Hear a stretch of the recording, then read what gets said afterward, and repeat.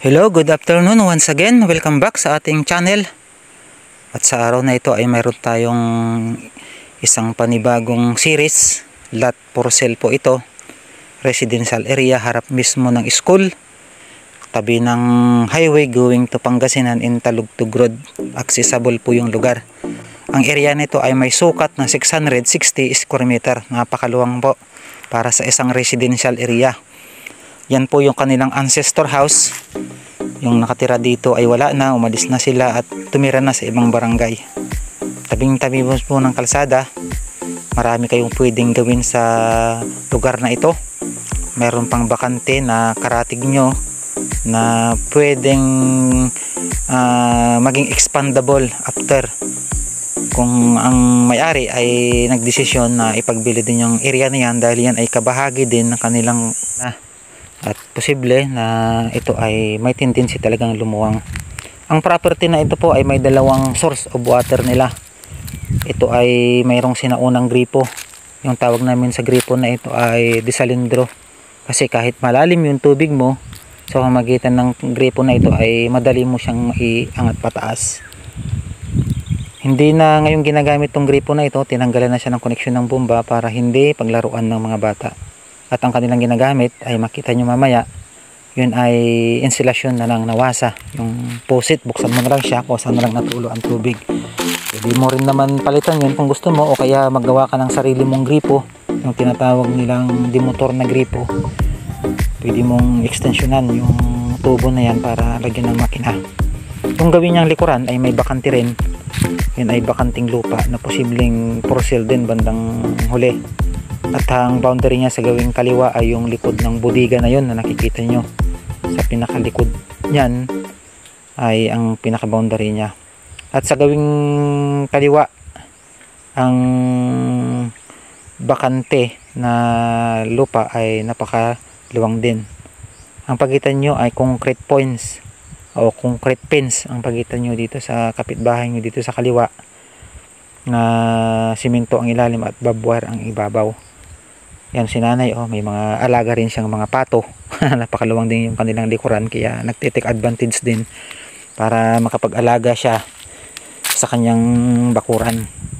Pwede rin nyo naman gawin yung ganun. Mag-alaga kayo dito sa likod nyo. Kung kayo ay mahilig optional po yun. O kaya ay mahilig kayo magtanim maluwang yung space para pagtaniman nyo ng gulay o kaya ng kahit anong na pwede nyo gawin ang property na ito ay napaka-ideal na gawing residential, commercial.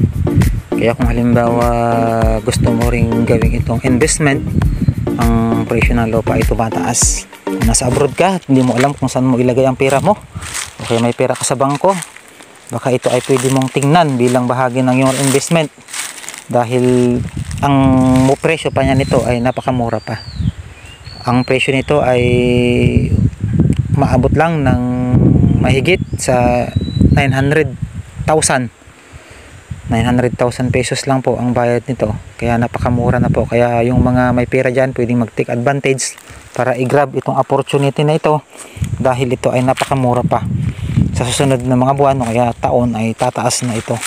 Kung ikaw may pera nasa bangko kaya nasa abroad ka at di mo alam kung saan ilalagay ang pera mo o kaya wala ka pang napiling pagtayuan ng bahay o napiling lugar kung saan. Sa lugar na ito ay napakaganda ang lokasyon niya. Tabing highway malapit sa school malapit sa bayan ay i-grab nyo na ho yung opportunity. Kung halimbawa gusto nyong malaman kung saan ito kontakin nyo po ako at i-previewing po namin kayo sa lugar para makita nyo kung ano yung actual talaga bagaman ipinasilip na namin sa video na ito kung anong itsura niya ay muli namin kayong itutor. Ito po yung instalasyon ng gripo niya na sinasabi ko kaninang puset ng nawasa. Gusto ko pong ulitin ang property po ay napakamura pa sa panahong ito.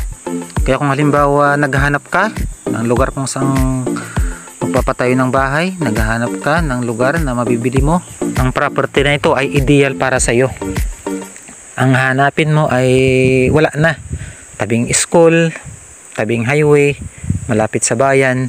Napaka-accessible kung gusto mong pumunta ng Pangasinan pumunta ng Kuyapo pumunta ng Muñoz pumunta ng Talugtog. Ito po yung lugar napakaganda po. Pwede nyo i-consider ito kung kayo ay naghahanap ng residential for sale kung kayo ay naghahanap ng pagpapatayuan kung naghahanap kung ano ang inyong gagawing negosyo. Ang pagbili po ng property ay isa sa mga wisely decision na pwede nyong gawin para ilagay ang inyong investment. Kasi pag may pera ka ngayon at hindi mo alam magnegosyo, magnegosyo ka, may tendency na malakas ngayon, next year, pabagsak na yan. At kung halimbawa inilagay mo sa property, at nasa abroad ka, pagbalik mo sa Pilipinas, kontakin mo ako at pwede mong ilagay yung pera mo dito. Pagbalik mo sa Pilipinas may tubo na yung pera mo. Kasi kung kakailanganin mo na ikas pwede mong sabihin Josue binta natin ulit yung property at kailangan ko ng cash. Siguradong tutubo ka na. Marami sa mga buyer ang ginagawang investment ay sa property para yung kanilang pera siguradong walang pagkalugi. Ayan po ayan po yung lokasyon ng lugar. Napakaganda. Highway highway talaga siya. Kalsadang kalsada. At uh, yung presyo ng lupa na ito ay napakamura yung ganitong tabing kalsada na lupa ay nagre-range yan ng mga 2,000 hanggang 3,000 piso ang per square meter niyan. Pero sa property na ito, hindi pa umabot yan ng 1.5 per square meter. Kung ang halaga niya ay 900,000 lang, napakamura na. Pwede na kayo mag-take advantage pagkapanood nyo ng video na ito. Kasi naman sa inyo na interesado na naghahanap ng property for sale, for residential, for commercial. Ayan po, pwede nyo i-consider na itong lugar na ito at available pa hanggang sa ngayon. Naulit ko sa mga interesado na magkaroon ng mura at uh, accessible na residential area ito na po. Murang mura po siya. Napakamura pa sa presyo niya ngayon. At uh, salamat sa nakapanood ng video ito. Ay kung interesado kayo kontakin nyo ako sa numero na nakikita nyo dyan sa baba.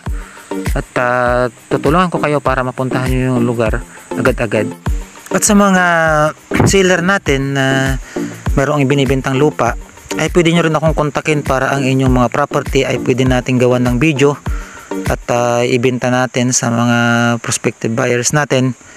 At uh, sa mga buyers naman na naghahanap ng mga bibili nilang lupa ay pwede rin kumontak sa akin para ibigay yung kanilang criteria, yung kanilang standard of qualification para dun sa lugar na maaring ihanapan natin din eksakto dun sa inyong pangailangan. Sabihin nyo lang kung magkano ang kapital nyo, kung ito ay anong klase, rice field, mango farm o pispan sabihin nyo lang po eksakto na mga kailangan nyo at pwede namin kayong ihanapan direkta sa inyong mga pangangailangan.